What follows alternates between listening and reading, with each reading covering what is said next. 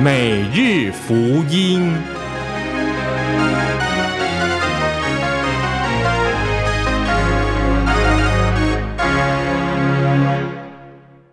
大家好，欢迎收听每日福音，我是伟伟。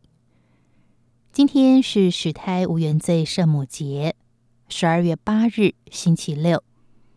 福音经文在路加福音第一章第二十六节。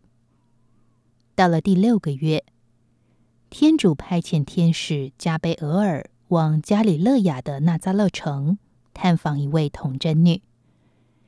他已许配给达卫家族一个名叫若瑟的男子。这位童贞女的名字叫玛利亚。天使进去对她说：“喜乐吧！”满被恩宠的女子，上主与你同在。玛利亚听了这话，十分不安，思索这问候是什么意思。天使接着说：“玛利亚，不用害怕，你得到天主特别的恩宠，你将怀孕生子，要给他起名叫耶稣。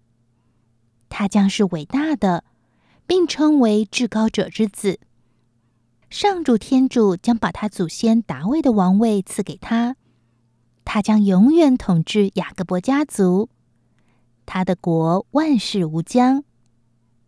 玛利亚对天使说：“我不认识男人，这怎么可能呢？”天使回答：“圣神会降临于你，至高者的能力会庇应你，所以。”那诞生的圣者要称为天主子。看，你的亲戚伊萨博尔在老年怀了男胎，现在已经是第六个月了。尽管人们都说他是不能生育的，但对天主来说，没有不可能的事。于是玛利亚说：“看，我是上主的婢女，愿照你的话成就于我吧。”天使便离开了他。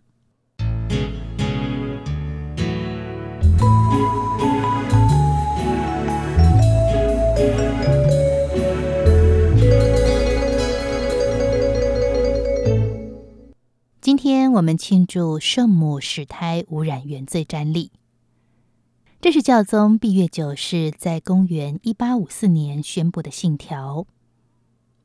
罪是缺乏基督的恩宠。而玛利亚从未缺过这份恩宠。今天的福音也为此特恩作证。玛利亚充满圣宠，按天主的计划污染原罪，已被孕育天主子。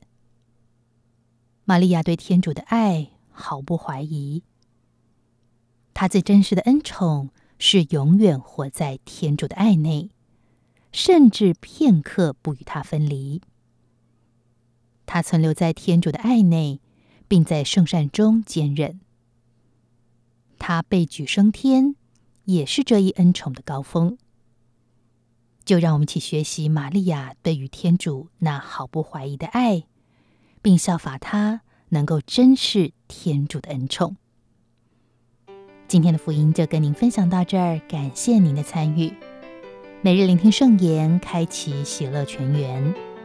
每日福音。我们明天见。